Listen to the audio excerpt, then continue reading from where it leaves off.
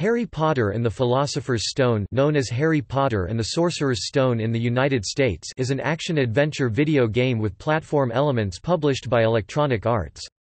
It is based on J.K. Rowling's novel of the same name and the film adaptation.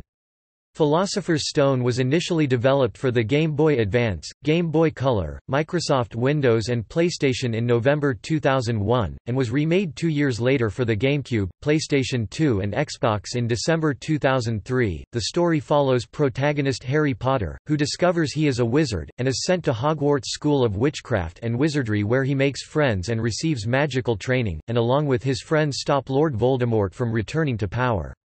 The game received mixed reviews.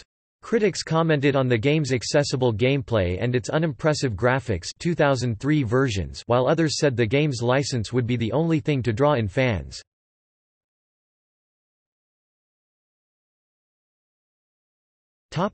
Gameplay Harry Potter and the Philosopher's Stone gameplay is from a third-person perspective. The player controls the character Harry Potter from a third-person view.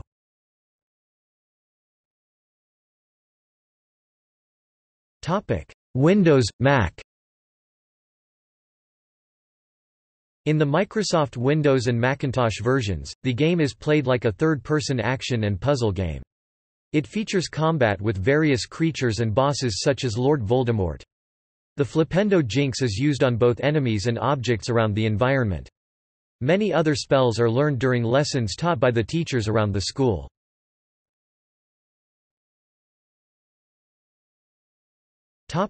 PlayStation Like the Windows version, the game is a third-person action-adventure game. However, the story is arranged in a completely different fashion to the PC version, and features different story events and gameplay. It was developed in the UK by Argonaut.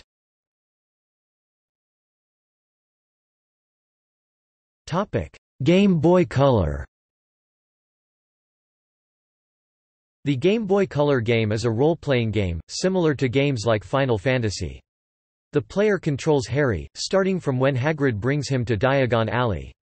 It strictly follows the story of the books, with all the scenes from that point on in the book being playable, except for the addition of bands of monsters such as rats, bats, and spiders roaming most of the locations.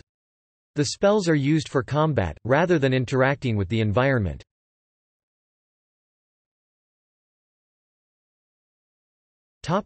Game Boy Advance. The Game Boy Advance game is completely different from the Game Boy Color game. The Game Boy Advance game is a top-down puzzle game. The player explores Hogwarts, and must attend classes which often include a challenge of collecting a certain number of items, such as challenge stars or potion ingredients. This game features the familiar monsters from the other games in the series, such as snails and gnomes.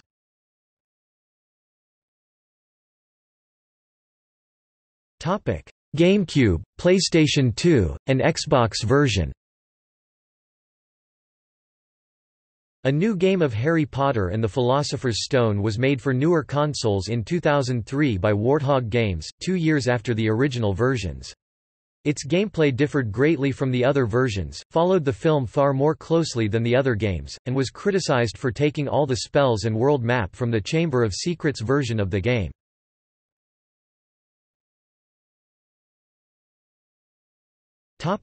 Plot Rubeus Hagrid, a mysterious giant, leaves an orphaned Harry Potter, whose parents were murdered by the evil Lord Voldemort, on the front door step of his bullying relatives, the Dursleys. For ten years, Harry has lived with the Dursleys, not knowing that he is a wizard, and famous in the wizarding world for being the only one to survive the attacks of Voldemort, whose name no one dares to say. Harry receives a letter inviting him to attend Hogwarts School of Witchcraft and Wizardry and is told who he really is. After buying his school supplies, at Diagon Alley, he boards the Hogwarts Express on platform 9 and 3 quarters with the other students. Once they arrive at Hogwarts, the students are sorted into houses, Gryffindor, Hufflepuff, Ravenclaw and Slytherin. It is explained that if a student does a good thing or a bad thing, points will be added or deducted from their house points. This is important, as the house with the most points will win the House Cup at the end of the year. Harry is sorted into Gryffindor, after pleading with the Sorting Hat, a talking witch's hat, not to place him in Slytherin, notorious for being the house of darker witches and wizards, as well as Lord Voldemort. Once sorted, Harry meets Ron Weasley, a poor boy from a large, pure-blood, wizarding family and Hermione Granger, a witch born to non-magical parents. At school, Harry begins his training as a wizard and learns more about his past. After retrieving a remembrall while riding on a broomstick, for his classmate Neville Longbottom, Harry is appointed Seeker of the Gryffindor Quidditch team. Tricked by Slytherin, Draco Malfoy, Harry, Ron and Hermione, accidentally come across a huge three-headed dog on a restricted floor of the castle. After escaping they realize the dog was standing on a trap door which is guarding the Philosopher's Stone, a magical object which grants the user immortality. When Harry is almost killed during a game of Quidditch, by what appeared to be Professor Snape uttering a curse at him, Harry concludes that he is after the Philosopher's Stone. Harry, Ron and Hermione set out to stop Snape from retrieving the Philosopher's Stone by putting the three-headed dog to sleep with music and going through the trapdoor. The three face a series of obstacles that protect the stone which include surviving a deadly plant, catching a flying key, playing a life-sized game of wizard's chess and choosing the correct potion to get through a magical fire. Harry, now alone, expects to face Snape but instead finds Professor Quirrell, the defense against the dark arts teacher. Quirrell removes his turban and reveals that Voldemort was living on the back of his head. Harry retrieves the stone and Voldemort tries to get it from him but touching him burns Quirrell's skin. Harry passes out from the struggle of the battle. He awakens in the school's hospital wing with Professor Dumbledore, the headmaster, by his side.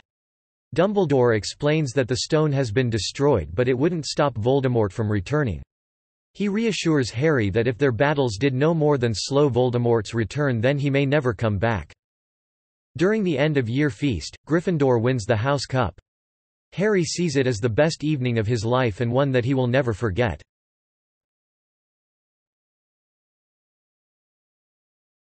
Topic: Development. Harry Potter and the Philosopher's Stone is based on the story of the same name and through working with Warner Brothers the game also features the sets and environment from the film adaptation. The PC version was developed by software company KnowWonder and was built on the Unreal Engine which allowed for it to play on both software and hardware accelerated modes. The game's executive producer Chris Graham stated that the game was aimed at 8 to 14-year-olds with its puzzle-based gameplay. The PlayStation version was developed by Argonaut as an action platform game which integrated a 3D environment into its gameplay. The Game Boy Color and Game Boy Advance versions were individually developed by Griptonite Games and Eurocom. Philosopher's Stone was first revealed on the PC at the E3 Expo in May 2001. A press release followed, months later, on 13 November 2001, days before the film's 16 November release. The press release stated it would ship the game to coincide with the film adaptation of the same name. The Philosopher's Stone remake was initially rumored in June 2003 for sixth generation consoles. It was officially confirmed in July 2003 that EA was developing a new game for the GameCube, PlayStation 2 and Xbox consoles based on a similar format as the Harry Potter and the Chamber of Secrets game released in 2002. The game was developed by Warthog Games and set out to fix some of the problems encountered in the previous games such as loading time. The game uses similar set designs and graphics as the Chamber of Secrets game and the previous generation consoles by making them 3D. The game was released on 12 December 2003.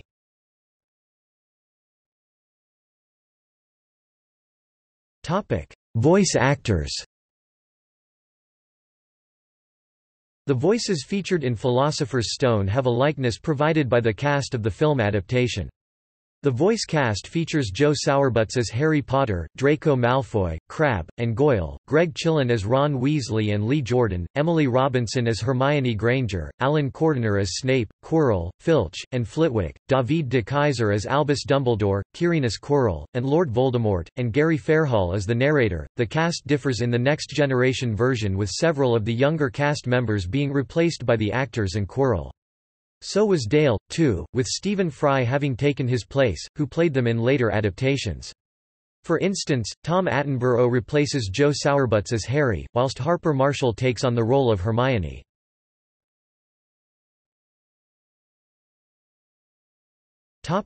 Soundtrack Jeremy Soule composed the music of Philosopher's Stone. The soundtrack was written by Soule before hearing the score by John Williams for the motion picture version, and features original themes written for the game. The soundtrack was released digitally in 2006.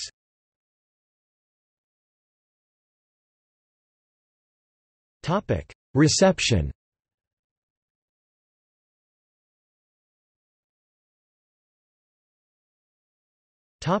Critical response The PlayStation 2, GameCube, and Xbox versions of Harry Potter and the Philosopher's Stone received mixed reviews from critics. The game was compared to the Chamber of Secrets game with IGN saying the game was, "...like the digital equivalent of a Ron Weasley hand-me-down."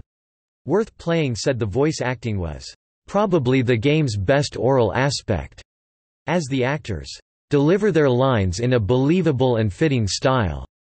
IGN found the voice dialogue to be well acted and very crisp. GamePro said the game was more interactive and enjoyable than the PlayStation version. Computer and Video Games commented on Hogwarts saying it is a curiously flat experience, and not helped by the chronically jerky frame rate. X-Play said the game's camera angles were the worst offender. It's a maddening and incooperative system. Soundtrack Geeks John Blau identified Jeremy Soule's music for the soundtrack as too short. He also added that, "...the menacing and relaxing cues in the music fail ed to provide anything definitive." GameZone observed the tasks and quests and stated they aren't as compelling as Chamber of Secrets, and the puzzles seem a little lacking. GameSpot praised the developers' efforts, for the PlayStation version, in recreating the Hogwarts castle and different-looking characters, but said the game's graphics look like extremely jagged polygons. Quote, it also praised the PlayStation version for its bedtime story-style narration and the character voice-overs, but criticized the game's lack of music. PlayStation Illustrated noted that the PlayStation version has poor camera angles, adding that only the use of the L and R buttons can fix the problem, as it is not angled in the direction Harry is facing. The fun to play Quidditch matches were praised by PlayStation Illustrated, who stated that the matches were excellently done, and controlling Harry was easy. Jeremy Conrad from IGN called it one of the best-looking PS1 games for its graphics, but said that this can cause the frame rate to lag. The easy gameplay for the PC version was criticized by GameSpot, adding that the auto-jump function removes any form of a challenge from the block puzzle and platform sequences. GameSpot described the score by Jeremy Soule as enjoyable, but its repetitiveness and shortness made for less variety throughout the game.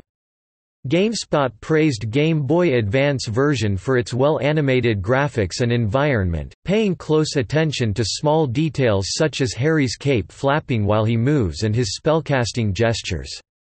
Game Vortex criticized the GBA version for its lagging graphics that occurs when casting the Flipendo spell, the repetitive environments for each spell challenge level. It also criticized not being able to jump over bottomless pits in the spell challenge levels, where falling down results in the level being played from the beginning. GameZone praised the overall gameplay, controls and graphics, for the GBA, commenting that it is a solid, enjoyable product, but pointed out drawbacks such as the simplistic puzzles. Game Vortex and GameZone both praised the Game Boy Color version's well-detailed environments, gameplay and color usage, but was faulted for its lack of detail on enemy characters who appeared indiscernible to the main characters.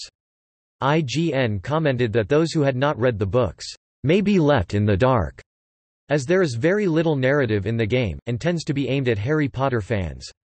In Japan, Famitsu gave the GameCube and PlayStation 2 versions a score of all four sixes for a total of 24 out of 40.